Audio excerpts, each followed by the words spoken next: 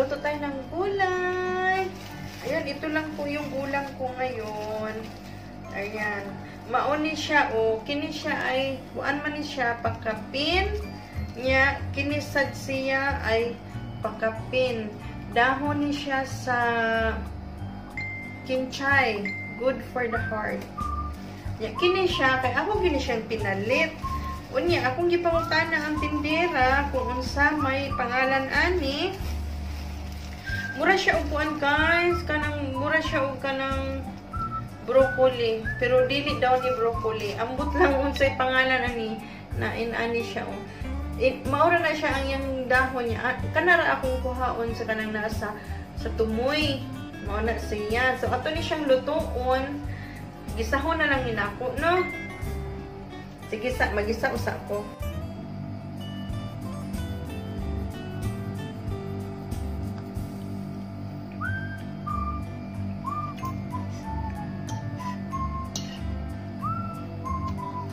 Kumain ako ng kunting kanin.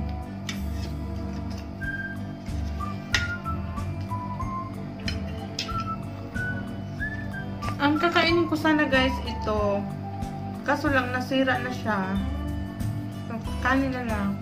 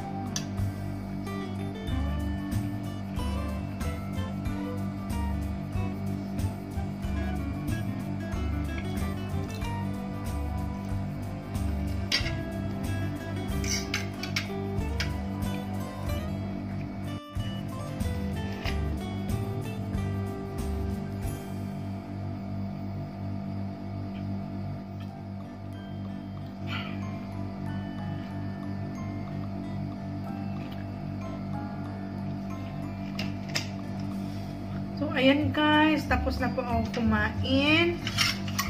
Ayan, naubos ko po yung gulay. Tapos yung kanin ko ay mga ano lang siya. Tatlong kutsara lang yata yun.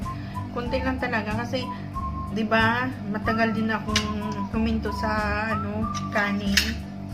Kinain ko lang ano um, ang tawag nito yung mga prutas-prutas at saka gulay-gulay. So, ngayon, yung kakainin ko sana, na, napanis kasi, kaya nga ano, kumain na lang ako ng kanin. At saka ano ha, kailangan talaga natin kumain ng gulay. So, kailangan talaga natin kumain ng gulay. Kumain tayo ng prutas.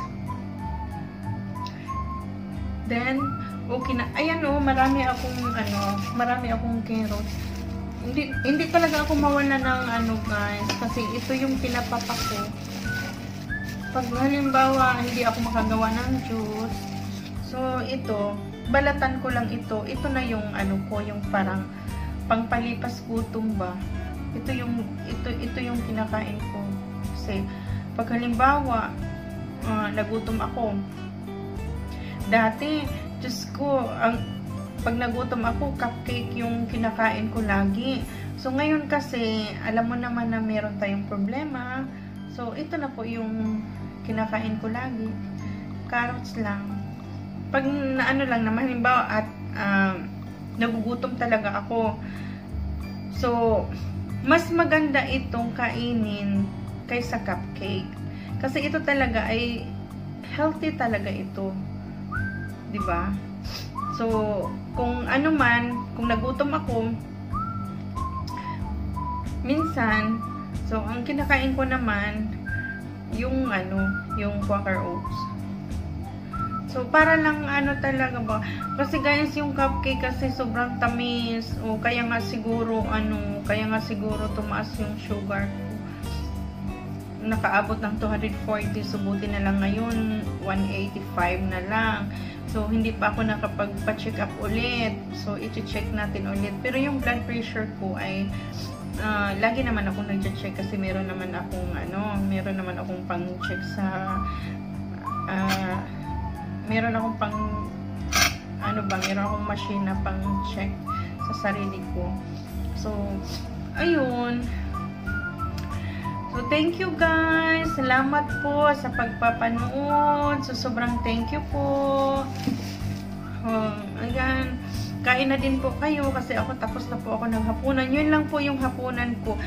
Pag kumakain kasi ako ngayon, hindi na katulad dati talaga na gusto ko talagang magbusog. Yung busog-busog talaga. So, ngayon, ang ginawa ko guys is pag na-feel ko na na parang may laman na yun, nalaman na na yung chan ko, hihinto na ako niyan. Kasi, ano eh, yung iba na rin siya. Iba na rin talaga yung hindi ako makain ng kanin. Kasi, di ba, ang tagal kong hindi kumakain ng kanin. So, ngayon na bumabalik ako sa pagkain ng kanin, paunti-unti, pag na-feel ko na talaga na parang nalaman na na yung chan ko, hihinto na ako sa pagkain. Yun yung ginagawa ko para ano ba, kasi parang dati nasanay na rin ako na walang kanin, tapos ngayon bumalik sa pagkakanin. Kasi minsan, ano kasi nakakamiss talaga yung kanin, di ba? So, kain na lang ako, paminsan-minsan lang din naman. So, sige na guys, bye!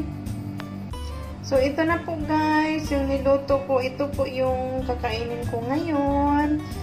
Ah, uh, sayote, meron siyang sibuyas dahunan, meron siyang, uh, hindi ko alam kung anong tawag dito, para siyang broccoli, yung dahon niya, pero yung nasa taas lang siya, hindi ko alam kung anong tawag nun, basta ito lang, very healthy talaga, ayan, oh, so kakain na po tayo guys,